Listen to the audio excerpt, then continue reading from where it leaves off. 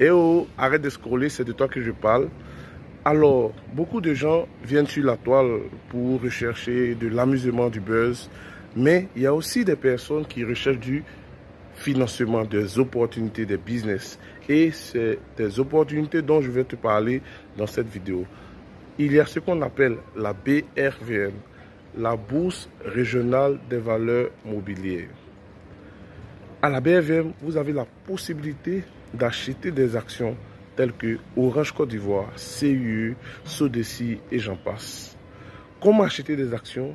Vous devez simplement ouvrir un compte titre avec la photocopie de votre pièce d'identité, deux photos, un justificatif de domicile et bien entendu la somme minimum de 100 000 francs. L'ouverture de compte, c'est gratuit.